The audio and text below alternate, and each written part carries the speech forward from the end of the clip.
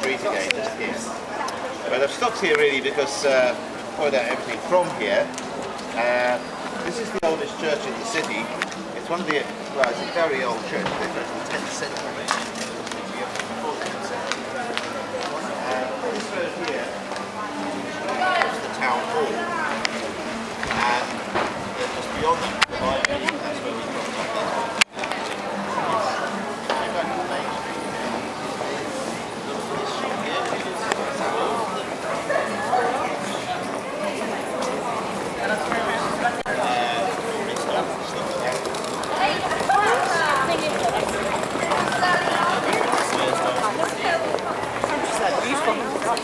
No, no, it's category What, what does that mean?